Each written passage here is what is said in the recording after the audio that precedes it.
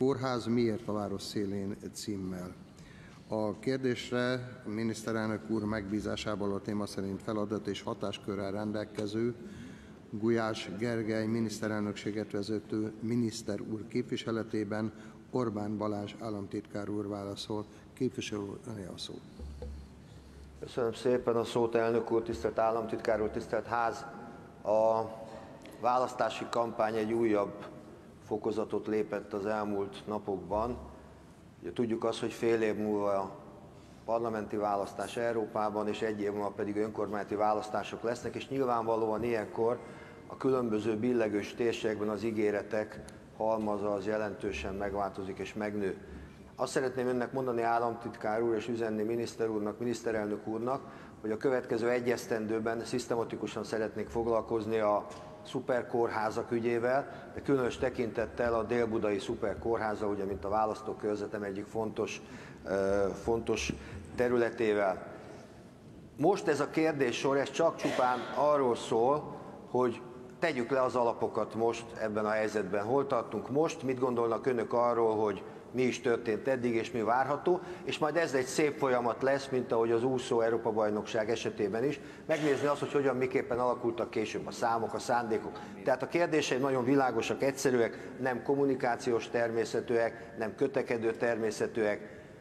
Lesz szuperkórház Dél-Budán, igen vagy nem, az a döntés, hogy ez azon az egyébként szerintem meglehetősen meglepő területen készül el, azt fenntartják-e még, vagy inkább a szakma javaslatát, miszerint célszerűbb lenne meglévő kórházat fejleszteni, újra esetleg megfontolják, mire számítanak, hogy kik fognak itt dolgozni ebben a kórházban, az 1400 ágy ellátásához körülbelül milyen személyre számítanak és honnan, mi történik a környező többi kórházzal, mennyibe kerül a közlekedési, beruházási rész. Ugye tudjuk, hogy itt ma gyakorlatilag tömegközlekedés ebben a térségben nincsen, ahol tervezik a beruházást, és ma 2018. november közepén mit gondolnak arról, mennyi lesz a teljes beruházás költsége.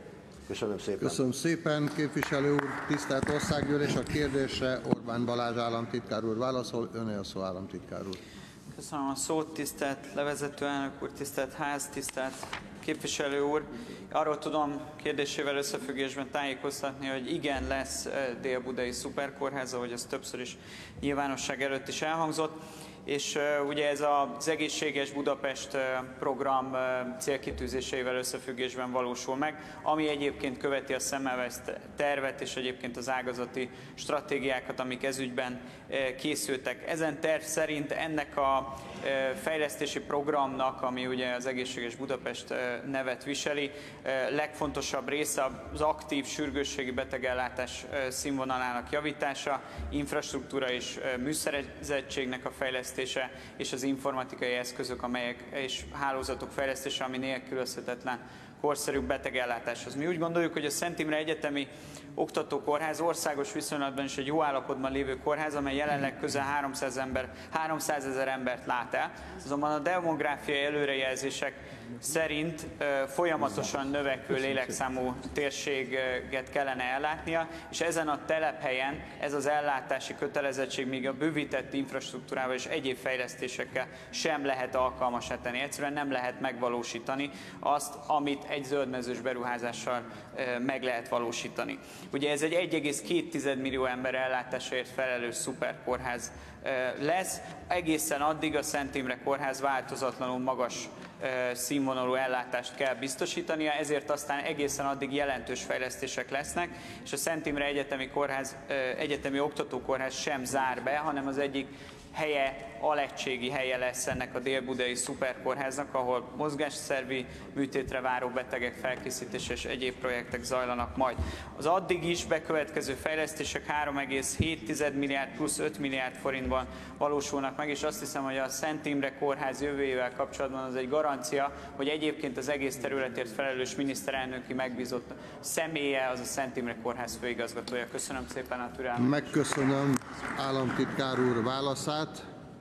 Tisztelt Országgyűlés, Varjú László, a Demokratikus Koalíció képviselője kérdést kíván feltenni a miniszterelnökséget vezető miniszternek. Önök is így akarnak